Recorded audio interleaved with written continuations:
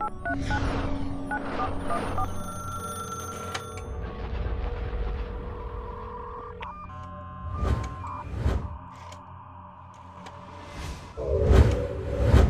سلام خدمت شما عزیزان. ارز کنم که این شیعیان و صوفیان حتی در ندای غیر الله هم تبعیض قائل می شوند یعنی پیامبر اکرم را که از امامان از امامان مقامشان بالاتر است را به فریاد نخوانده و به سراغ پایینترین مقامات بشری می روند.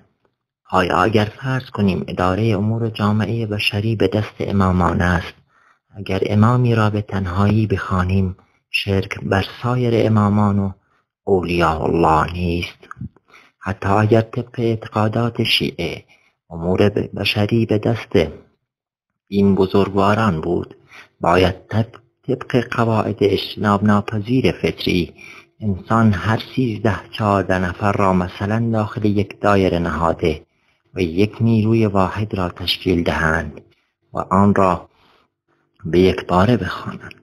غیر از این با توحید فطری انسان منافات دارد و خواندن یکی از آنان به تنهایی شرک و حرمتی به ده دوازده امام دیگر می باشد پس چرا خالق واحد القهار را به تنهایی عبادت نکنیم و زیوغ بندگی بندگان خداوند بیرون نیاییم و به جمع سایر یکتاپرستان نپیوندیم.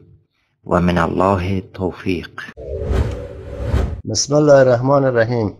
با سلام و درود به آقای خدمتی و آقای هاشمی و شبکه تویدی کلمه و دیگر استادای عزیز. از اینکه شما شب و روز زحمت می‌کشید و مردم مسلمانان جهان را مخصوصا ایران را به راه راست به راه که خدا و پیغمبر خدا گفته اداعت می‌کنید و روشنگری مردم روشن می‌کنید چیزهایی که نمی‌دانند مسلمانان بدانند.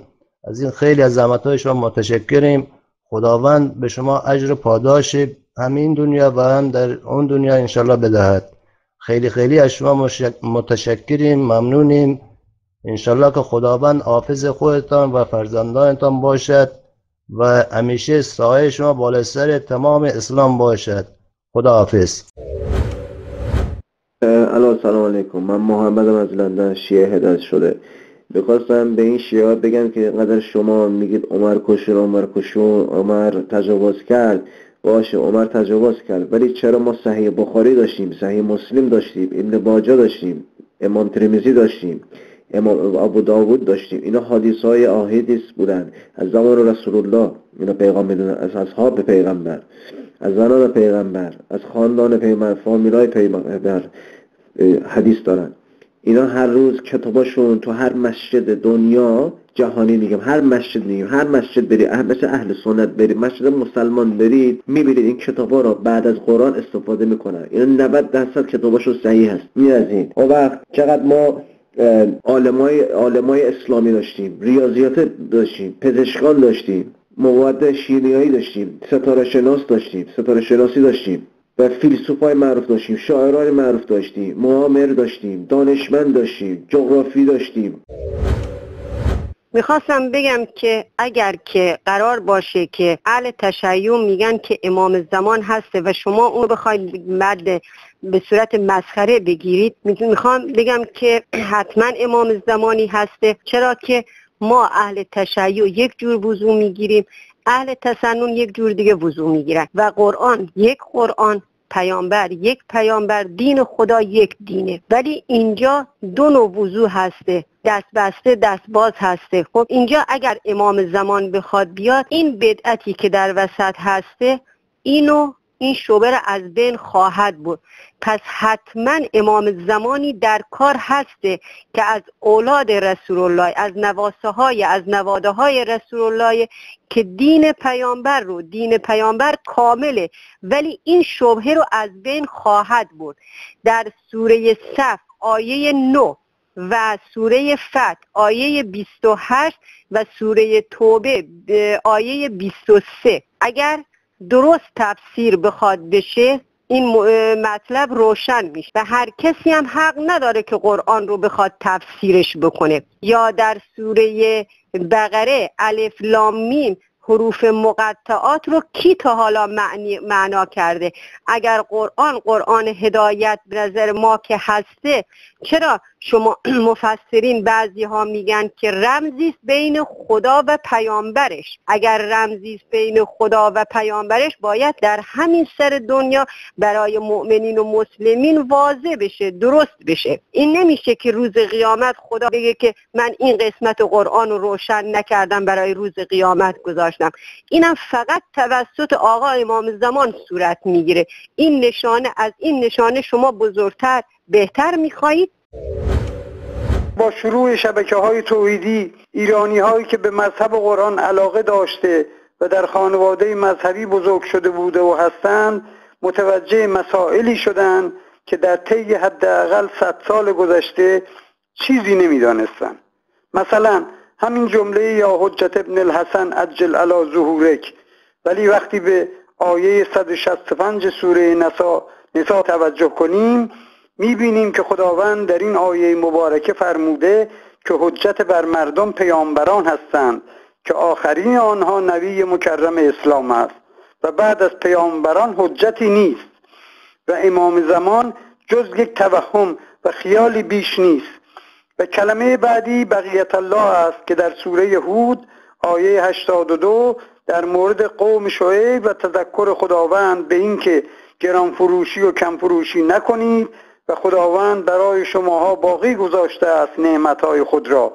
ولی آخوند متقلب و مشرک برای اینکه مردم را در توهم این امام خیالی نگه دارد گفتند این نام امام زمان است که در قرآن آمده و این دروغ و بزرگ آشکاری است که هر مسلمان منصف و با وجدان و موحد با خواندن آیات سوره یهود متوجه این کلاه گشادی که آخوندها بر سر مردم گذاشتن می‌شوند.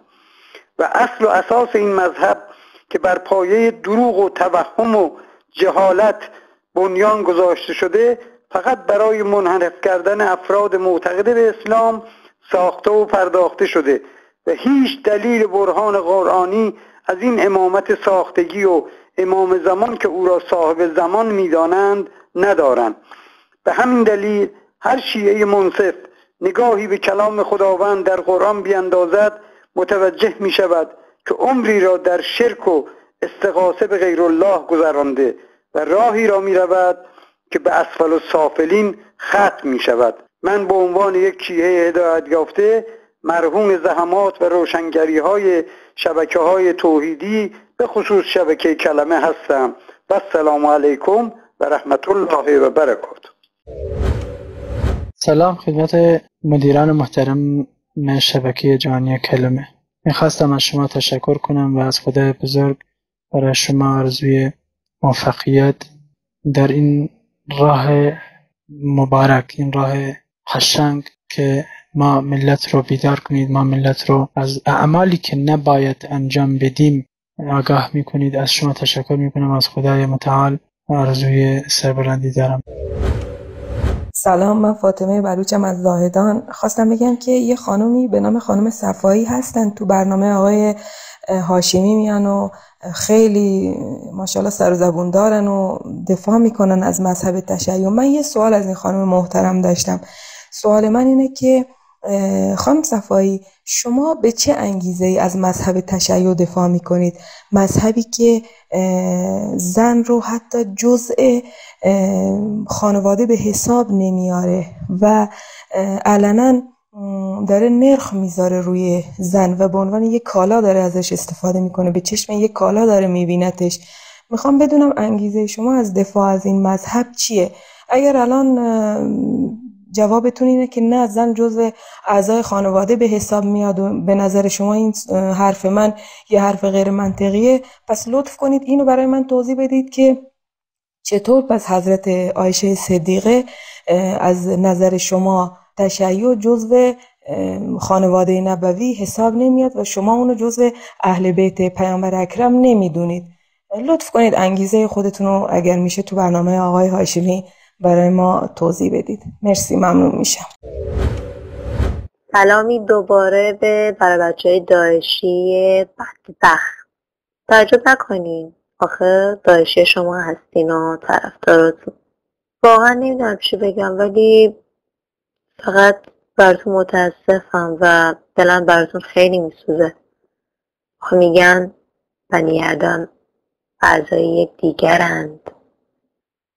خیلی مزخرفید ولی شما مثل سگ هر چقدر خواستیم واق واق کنیم تا بچه شیعه سلام علیکم و رحمت الله و برکاته. سلام بر شبکه جهانی کلمه. سلام بر توحید. سلام و درود الله بر شما اساتید محترم. لطفا صدای مرا به گوش ملت ایران برسانید.